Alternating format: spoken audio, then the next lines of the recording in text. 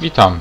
Dzisiaj postaram Wam się wyjaśnić działanie nastawnika jazdy, nastawnika kierunkowego, czyli nawrotnika oraz wału kółakowego N57 na przykładzie właśnie tej symulacji Train z 2012 i modelu N57 od użytkownika Adam Stan, który to wymodelował wszystko. Bardzo dokładnie odzorowany model i mam nadzieję, że wystarczająco dokładnie, aby Wam właśnie zademonstrować to działanie. Inspiracją taką trochę do e, nagrania tego filmiku był pytanie pewnego użytkownika, jak działa w ogóle pozycja przetok, co to jest pozycja przetok na nastawniku jazdy w kibelku. I w zasadzie tak sobie pomyślałem, że w sumie czemu by nie nagrać wideo, który, filmu, który po prostu to zademonstruje, pokaże, wyjaśni. Temat generalnie jest dosyć ciekawy, dlatego że N57 ma rozruch, można powiedzieć, w pewnym sensie automatyczny, czy samoczynny, czy zwał jak zwał. Ale polega to na tym, że po prostu pozycje oporowe są automatycznie przełączane. Jeśli chcemy wejść między na przykład pozycję przetok a szeregową, no to obwody, opory wchodzą po prostu w obwód i automatycznie są wyłączane z obwodu. Czyli część pozycji po prostu wału kłakowego przeskakuje automatycznie bez, e, że tak powiem, ingerencji użytkownika, nie? Tak jak to jest na przykład w EU07 czy w większości elektrowozów, gdzie każda pozycja to jest, każda pozycja e, jest odpo odpowiednią pozycją na e, nastawniku jazdy. Tutaj mamy tylko kilka pozycji i właśnie postaram się Wam zaraz wyjaśnić. Dobrze, zacznijmy może od nastawnika kierunkowego. I tak, to jest nastawnik kierunkowy, czyli nawrotnik. Normalnie klucz znajduje się w tej pozycji, może zostać wyjęty. Jeśli wchodzimy do kabiny, wkładamy klucz i to jest pozycja, tak, że tak powiem, W, czyli wyjęcia klucza. Potem mamy pozycję do tyłu, no to jest pozycja w tył, wiadomo, do tyłu jedziemy.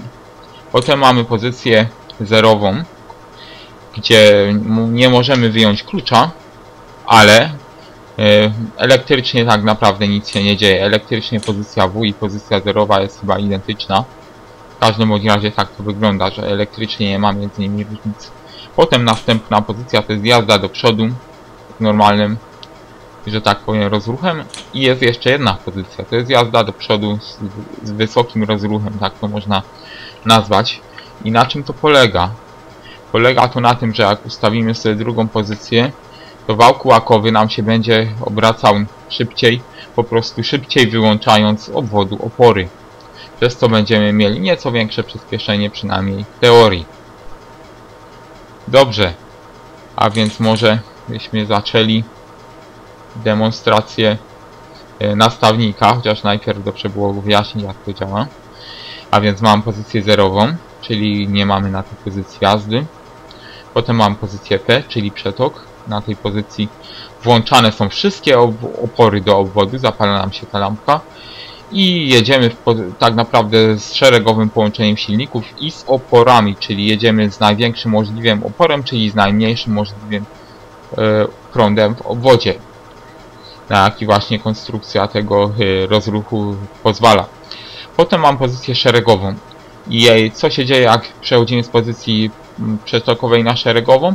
Po prostu zaczynają nam się wyłączać poszczególne obwody, opory, czyli poszczególne oporniki po prostu zaczynają być mostkowane sukcesywnie, aż zgaśnie nam ta lampka i po prostu e, wtedy będzie to sygnał, że jesteśmy na pozycji szeregowej bez oporników. To jest ważne. Nie możemy jechać za długo na pozycji przetok. Nie wiem, czy to jest wymodelowane tutaj, ale na pewno w rzeczywistości jest tak, że po prostu na, przetok, na przetoku są włączone opory, a więc one się grzeją i można je spalić. Kibelek nie ma chyba wentylatorów oporów. One są chłodzone bodajże przepływem powietrza podczas jazdy. Także należy na to uważać. Przetok nie można stosować tego za długo. I też nie ma potrzeby, żeby tego stosować długo, dlatego że przetok to jest pozycja ślimaka, tak to można określić łopatologicznie. Potem mamy kolejną pozycję R, czyli równoległa. Przechodzimy z szeregowej na równoległą. Włączają nam się opory. Po co? Po to, żeby przejście z szeregowej na równoległą było płynne i żeby nam nagle nie skoczył prąd do 1000 amperów czy do jakiejś niebotycznej wartości, paląc wszystko. Tutaj musi być to przejście płynne, a więc włączają nam się opory i zaczynają stopniowo być mostkowane. W pewnym momencie wbija nam pozycja druga bezoporowa, czyli równoległa, gdzie po prostu e, jedziemy sobie z pozycją równoległą i znowu bez oporów. I jeśli dalej chcemy zwiększać prąd, no to musimy bocznikować. I tu mamy pozycję bocznik 1, 2, 3.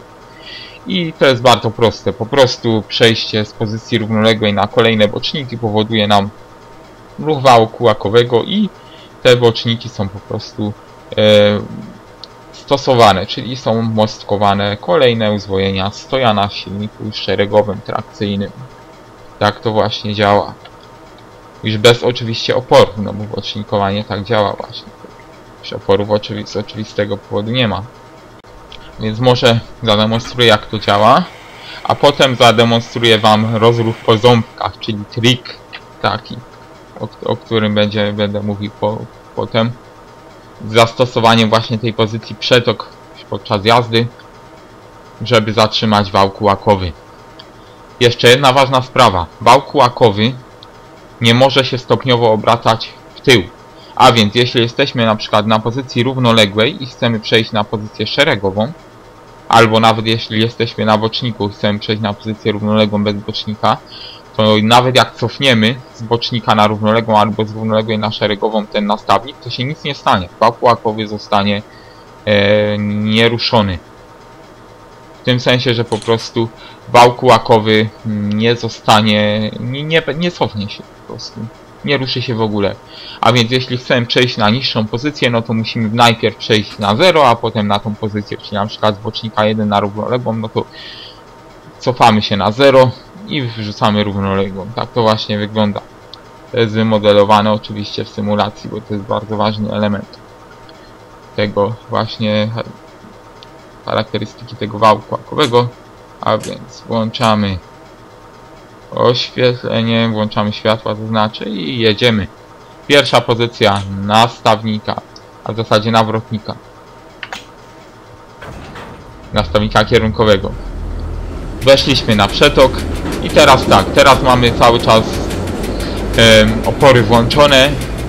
Ampery, czyli prąd nam spadają, dlatego że zwiększa się prędkość, a więc e, spada nam natężenie prądu. Dalej przyspieszamy, wchodzimy na szeregową. Jak widać nam skacze do góry amperomierz i weszliśmy na bezoporową, czyli teraz jesteśmy szereg w układzie połączenia szeregowym bez oporu. Dalej przyspieszamy. Równoległa z oporami. I dalej nam prąd się zwiększa, powoli skacze do góry amperomierz, wyłączając poszczególne opory i już nie mamy wyłączone opory. A więc teraz prąd będzie już malał i malał. 60 km na godzinę, prąd 200 amperów. I jak chcemy dalej zwiększać prąd, no to wchodzimy na kolejne boczniki. Pierwszy bocznik. I nam się trochę zwiększy prąd. Drugi bocznik. I trzeci bocznik. To już jest ostatnia pozycja nastawnika jazdy, gdzie po prostu jest największy prąd jaki możemy uzyskać, najmniejszy opór. I tak to właśnie wygląda. Jeśli chcemy teraz przejść na równoległą, no to pokażę Wam, cofnę się na równoległą, jak widać prąd nie spadł, prąd nie zmalał. A więc musimy przejść na 0 i na równoległą. I teraz jesteśmy na pozycji równoległej, bezoporowej. Prąd nam zmalał, jak widać. Tak to właśnie działa. Teraz zahamujemy skład. Zrobimy to pneumatycznie. I teraz zaprezentuję Wam różnicę, o ile ona jest wymodelowana. No niby powinna być wymodelowana w tym modelu. Ale postaram się zaprezentować Wam właśnie różnicę między pierwszym, tą pierwszą pozycją, czyli niższym rozruch, niskim rozruchem i kolejną pozycją, czyli wysokim rozruchem. Odhamujemy sobie kibelek.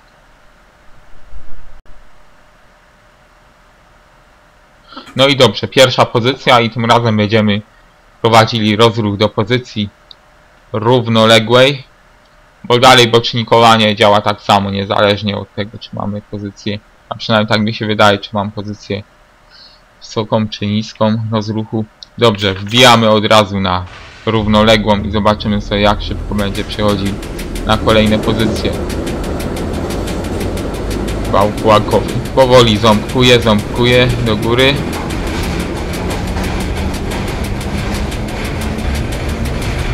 Pierwsza bezoporowa, opory w, ruch. Yy, Teraz mamy rów, równoległą z oporami. Powoli nam wskakuje na kolejne pozycje. I równoległa, bez oporów. Prędkość 50 na godzinę. Dobra, hamujemy znowu sobie pneumatycznie, zahamujemy, ups, trochę za daleko. Hamowanie nagłe, spuszczony przewód główny. I zobaczymy jak będzie wyglądać kwestia przyspieszenia na kolejne pozycji. Tutaj jest trasa bez nachylenia, także to też może mieć znaczenie myślę. Podejrzewam, że przy większym nachyleniu ta różnica będzie większa między szybkością przeskakiwania. Dobrze, upewnijmy się, że jest odhamowany. Jest odhamowany. I znowu na równoległą. Tym razem wyższy rozruch. Mi się wydaje, że trochę szybciej ząbkuje. No, trochę szybciej chyba. Tak to ma być. O, jak szybko wbija prąd, kurczę. Rzeczywiście, wydaje się to być nieco szybsze. I tak to właśnie działa. Pozycja... No i rzeczywiście było szybsze, dlatego że na pozycję bezoporową nam weszło przed 50, mniej więcej 45 na godzinę, czy nawet może troszkę mniej. Zahamujemy swojego, znowu pneumatycznie. Nie efe. Teraz wam pokażę trik, który tak to nazywamy rozruchem po ząbkach. Nie wiem czy to rzeczywiście tak fachowcy maszyniści to znaczy to nazywają, czy to takie określenie, że tak powiem, nieprofesjonalne, ale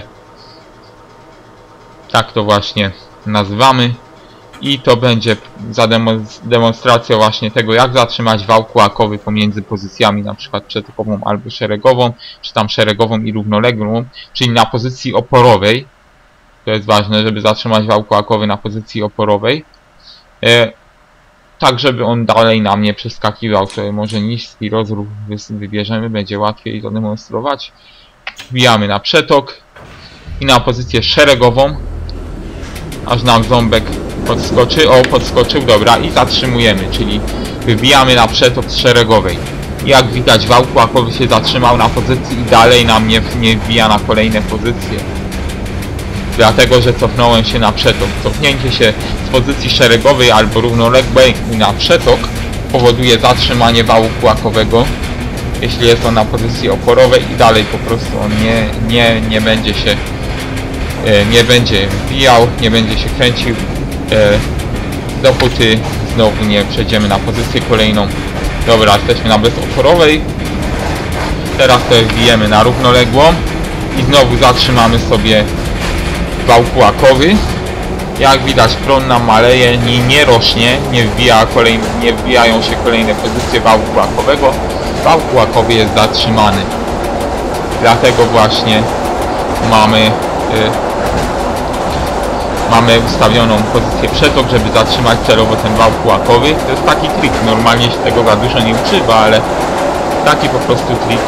Jeśli chcemy na kolejne pozycje wbijać, musimy wbić na równoległą, czyli równoległa i wyszły nam opory i tak to właśnie działa. Teraz wracamy sobie na pozycję, jak widać dopiero na pozycji 0 nam schodzi prąd i możemy sobie wbić na przykład teraz na szeregową. Tak to właśnie działa na równoległą. Jak widać bardzo szybko jeśli jesteśmy rozpędzeni to bardzo szybko nam opory się wyłączają. Mi się wydaje, że opory wchodzą prądowo czyli zależnie właśnie od prądu.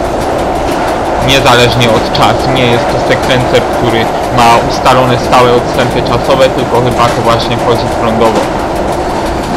I jeśli tak nie jest, to mam nadzieję, że ktoś mnie skoryguje. to by było właśnie na tyle, myślę, że demonstracji. Nie będę pokazywał jazdy w tył, bo to jest sprawa oczywista. Każdy wie jak się jeździ do tyłu. W zasadzie nie ma różnicy między tą pozycją pierwszą a pozycją tylną, poza kierunkiem jazdy oczywiście. Kierunek jazdy w silnikach stałych, w silnikach prądu stałego jest zmieniany oczywiście odwracając bieguny, no to trzeba być geniuszem, żeby to wiedzieć. I dobrze, teraz wam taki, taką rzecz pokażę, która nie jest dokładnie wymodelowana, ale jako ciekawostkę sterowanie ręczne wałem kułakowym. Nie jest ono tu wymodelowane niestety, także pokażę wam tylko do tego służące. Tutaj mamy szafę NN wymodelowaną. Niestety te dwa przyciski nie są wymodelowane w symulacji, ale w rzeczywistości służą one do ręcznego sterowania wałem kłakowym. Czasami bywa, że wał kłakowy się zawiesi. Wtedy trzeba go sprowadzić do pozycji początkowej i właśnie stosuje się do tego przyciski. Także mam nadzieję, że wyjaśniłem Wam trochę właśnie o tym jak to działa. I jeśli interesuje Was ten model właśnie do Trainsa, to jest model do Trainsa 2010 wzwyż, a w zasadzie chyba 2009 wzwyż, także w nowszych modelach powinien działać, mogą być pewne problemy, ale generalnie powinien działać. I ten model, link do pobrania tego modelu będzie e, w opisie filmu. Jeśli oczywiście autorem modelu jest użytkownik Adam Stan, czy Adam Stan 84, bo taki jest jego nick na YouTubie. Także naprawdę dobre modele robi do Trainsa, gdzie rzeczywiście są wymodelowane wszystkie te ważne elementy, które są w rzeczywistości e, znaczące i naprawdę jest to, e, jeśli chodzi o jakość, dok dokładność symulacji, to jest to, jest to naprawdę poziom bardzo wysoki. No. W zasadzie to jest, jeśli chodzi o modele do Trainsa, no to są chyba najbardziej dokładne w skali światowej modele. Nie widziałem jeszcze dokładnie, jeśli chodzi o jeśli chodzi o Trainsa, także naprawdę warto poeksperymentować, jak ktoś chce. I jeśli popełniłem jakiś błąd, powiedziałem jakąś głupotę, no to mam nadzieję, że ktoś mnie tutaj poprawi, kto ma znacznie większą wiedzę na ten temat, kto może rzeczywiście jeździ tym kibelkiem. Ja kibelka na, ogród, na ogrodzie niestety nie mam, torowiska z kibelkiem, także jeśli chcę wam to pokazać, no to musiałem pokazać to wam na przykładzie symulacji. I jeśli się podobało, no to kciuk w górę, jeśli coś tam jest nie tak, no to proszę komentować.